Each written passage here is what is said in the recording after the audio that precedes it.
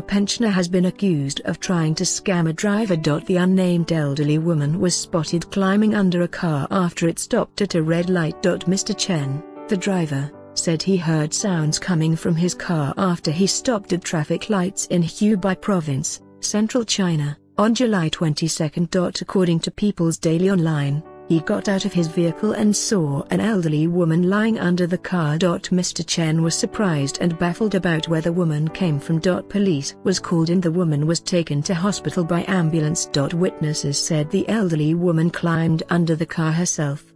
However, without CCTV footage, police had to detain the car for further investigation. Following the incident, Another driver came forward with footage he had recorded in his car. The footage clearly showed the car had stopped.